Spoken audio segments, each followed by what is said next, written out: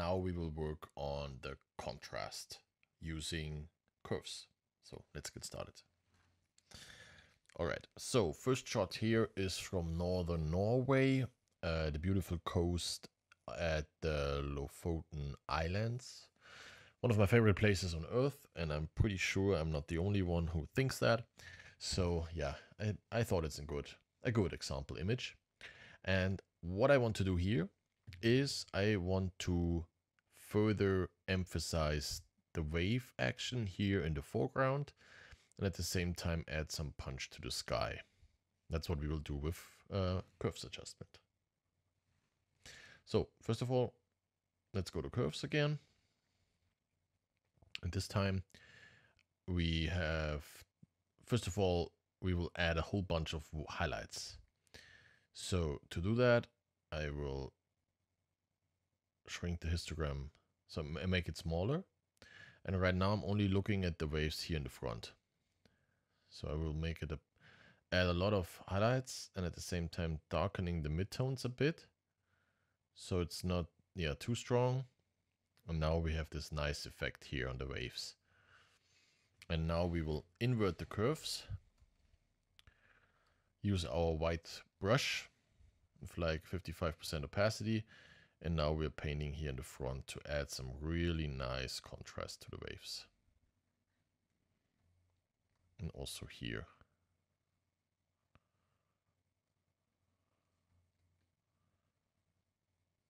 It's too strong there, so we can repaint. Not a problem. No, no, I like it there. And when we only want to enhance the contrast, not the color, we can change the blend mode to luminosity and then we're only enhancing the contrast. But in this case, I like what it did, so we will keep it on normal because it also enhanced the magenta reflection from the sky here a little bit. So I like that.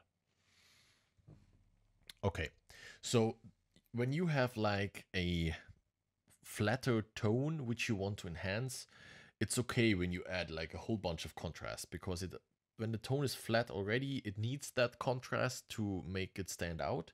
And when you paint it in locally, it's always you always make sure that you don't overdo things because you have, you have a lot of control doing that. So you can always um, start with an extreme adjustment and see if you like it and lower it down if you want. So the, you have a lot of control, like I said. Okay, now we will add another curves layer it's important to use multiple curves layer because curves layers because when you do everything at one uh, yeah you don't have this nice local control anymore because uh, maybe you want one adjustment only in this part and one adjustment in the other part. And when you can't combine it in one curve layer it will look messy quickly. So stack them up. That's easy. All right. So now we want to enhance enhance contrast here in the sky and I will use this picker here to see where the tones actually are. When you see the curve here, then you see where the tones are going on. Somewhere around in the middle, of course. So what we will do again, first of all, we will add a whole bunch of light. And now we will bring them back again. And you see this way we're enhancing contrast. So we're here around in the midtone area. Something like that. And when we invert it, we can paint it again to the parts where we want it. Also a bit here in the waves, mm, not here. And also not up here or not that much here in the mountain. But definitely in this corner. That's where we wanted it. All right. Let's turn it on and off.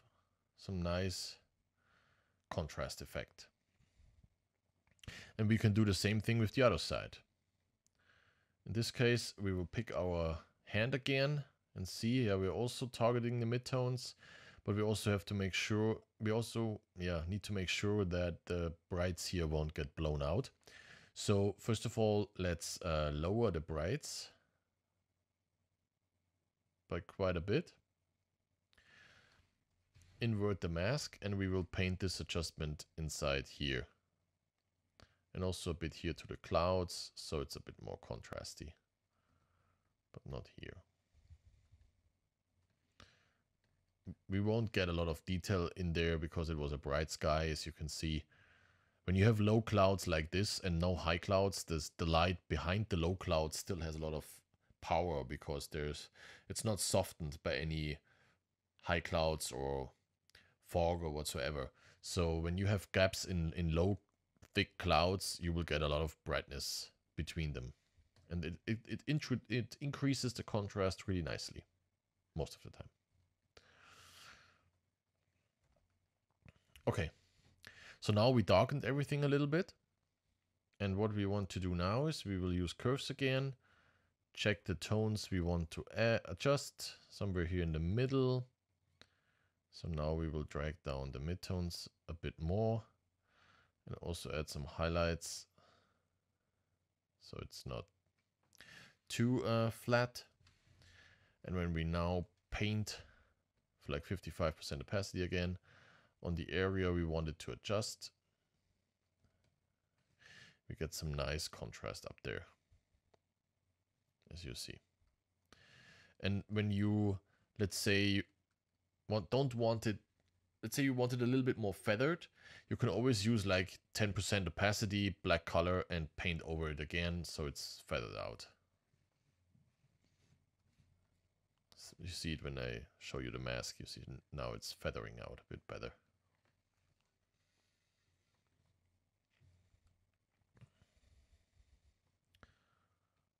All right. And now one more thing. I want to add more contrast to this part of the waves. So to do that, we will grab another curves layer, use our hand here and see which tones we are targeting. Something like that. They're really flat. So let's now brighten them and at the same time maintaining the darks.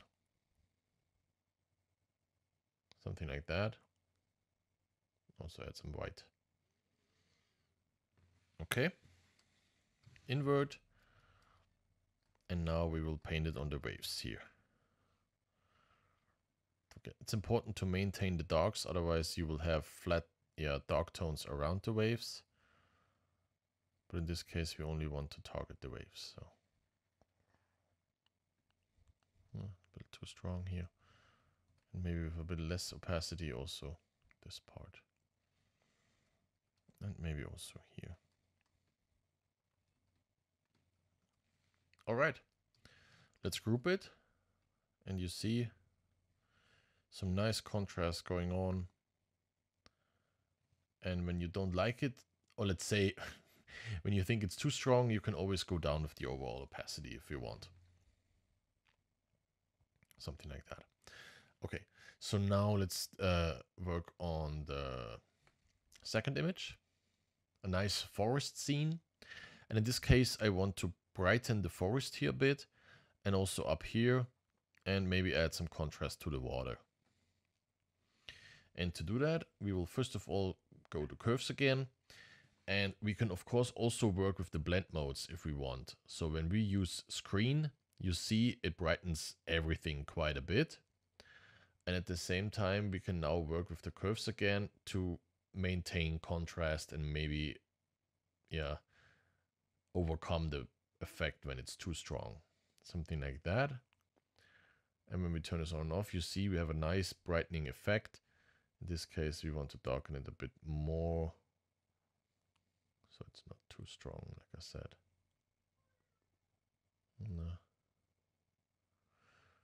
Okay.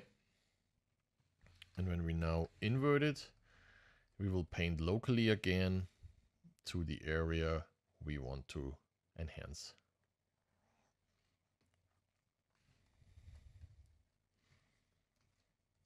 A little less opacity, but you see it works really nice.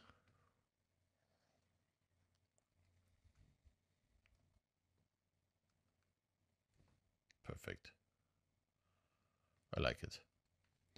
And again, when it's too strong, you can of course also can go down with the opacity. So that's a really nice way to use curves when you combine them with a blend mode. Screen, multiply, uh, soft light, so what's whatsoever. It's it's it's really nice. All right, another curves adjustment. This time I want to add punch up here. So first of all, let me grab the hand. It's again somewhere in the middle. So let's darken the midtones and at the same time punch, uh, uh, add in some highlights. And you see now we have a nice effect up there. So now we will invert it again and we will paint it where we want it. Something like that. And if we don't want it there, of course we can repaint with black to remove the effect. All right. And now one more thing here to the water. Again, the curve adjustment. Pick our hand and you see it's more in the bright tones, of course. So we will add highlights, but at the same time maintain contrast.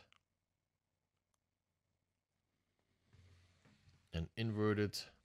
And now we will paint it down to this area.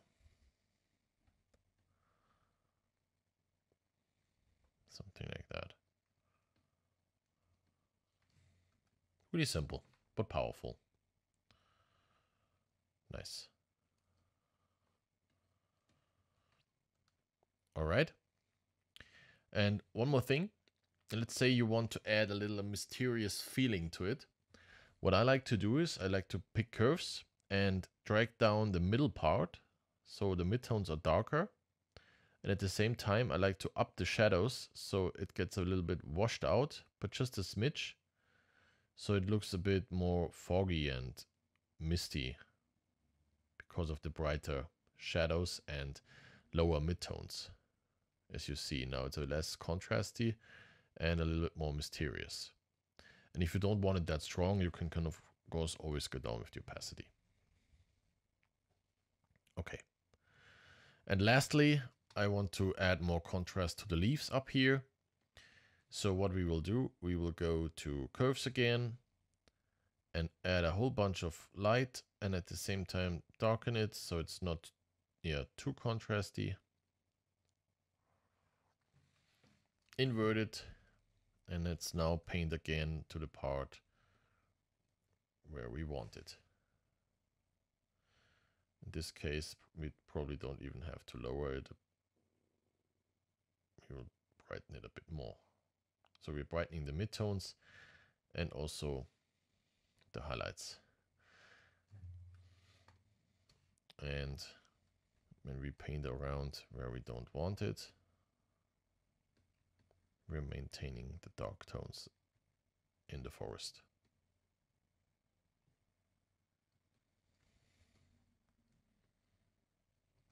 Okay, something like that.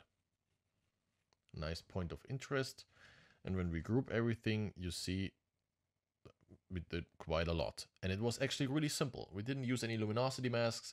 Of course, we can do it. But yeah, this tutorial is not that much about luminosity masks. But uh, of course, they are really powerful combined with curves. But you can also work without them, as you see here. Really nice. Okay, so that's it with contrast adjustment, guys.